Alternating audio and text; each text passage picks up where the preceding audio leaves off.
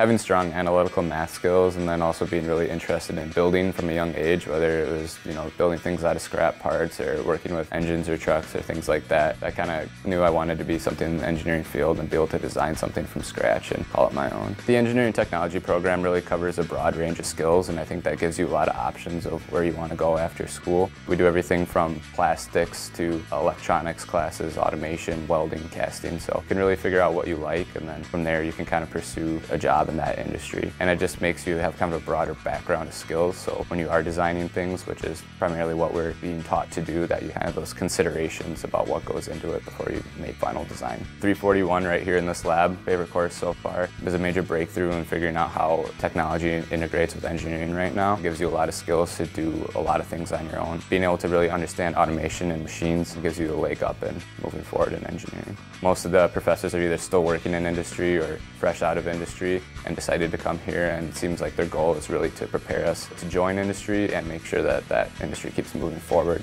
with kind of the best technology and innovation. All of them act like colleagues where it's not like normal student-professor relationship and that's kind of one of the things that really stuck out to me here at Stout. One of the best attributes of Stout is getting you career ready and co-op ready. During my co-op at Seagrave, it was a lot of production improvements. The most rewarding part of pretty much every branch of engineering is changing things for the better, whether that's creating something that wasn't there before or improving current technologies. I think that's where a lot of people find the satisfaction is taking something and making it better, making it newer, integrating more technology into it. Engineering technology is one of the best programs to really get you ready for a job out in the field. Wide range of skills that you learn throughout it can really pick your path. You'll really find something that can fit into what you've learned throughout the program and what you want to do for the rest of your life.